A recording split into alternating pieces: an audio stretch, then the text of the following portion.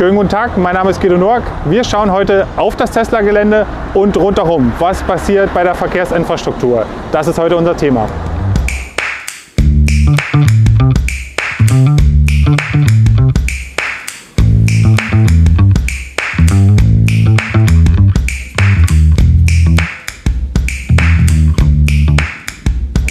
Herzlich willkommen hier an der Tesla-Baustelle.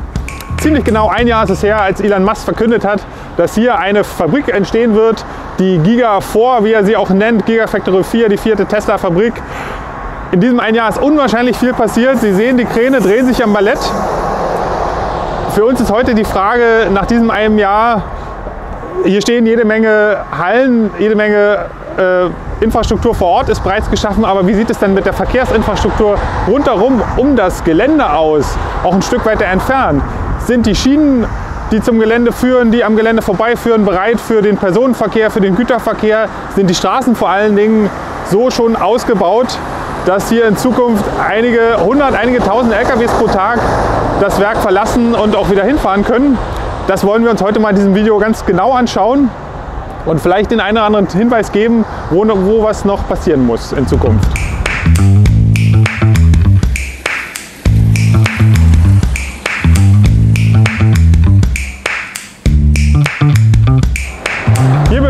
Jetzt an der derzeitigen Anschlussstelle Freienbrink.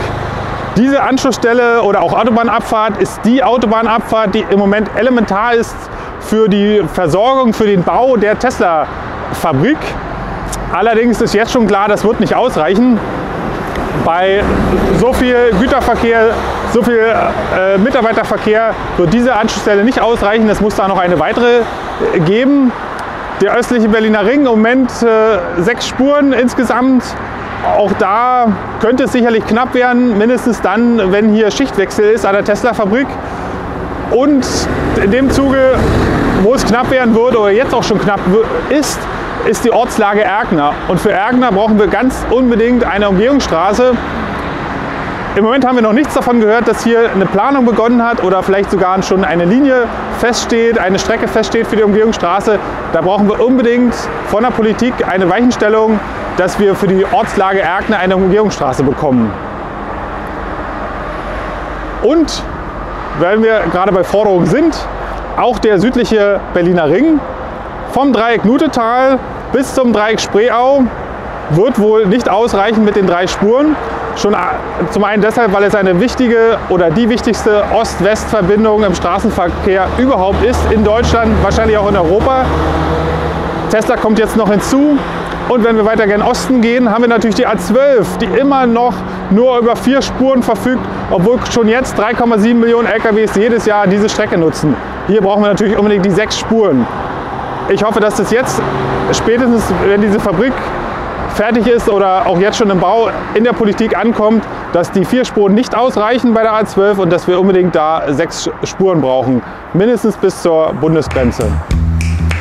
Hier haben wir den Bahnhof Fangschleuse. Der Bahnhof Fangschleuse ist äh, sehr wichtig für den Personenverkehr zum Tesla-Werk.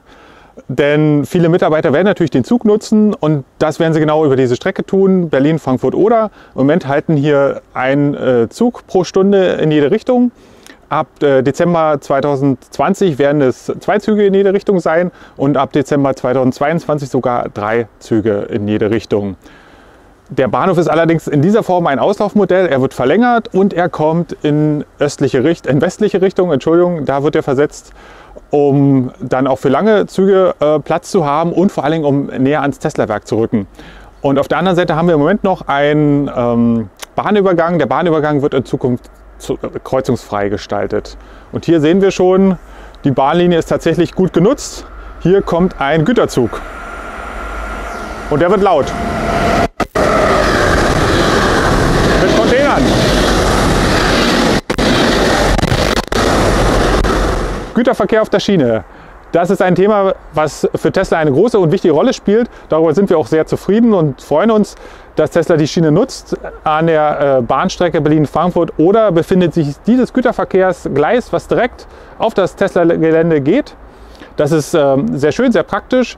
Allerdings, die Bahnstrecke Berlin-Frankfurt ist jetzt schon mit 70 bis 80 Güterzügen pro Tag und dem Personenverkehr, der dazu kommt, ausgelastet. Hier brauchen wir unbedingt Alternativen. Da fällt uns sofort die Ostbahn ein. Wenige Kilometer nördlich von der derzeitigen Bahnstrecke verläuft diese und die muss unbedingt ausgebaut werden, elektrifiziert und zweigleisig. Und dann äh, durch die Entlastung der Ostbahn bekommen wir hier auch wieder mehr Güterverkehr für Tesla hin. Okay, das war sie, unsere kleine Rundreise um das Tesla-Gelände. Wir haben uns einiges angeschaut. Jetzt gilt es anzupacken. Es muss noch einiges passieren. Wir unterstützen gern. Allerdings ist hier insbesondere die Politik gefordert, in Tesla-Geschwindigkeit so weiterzumachen.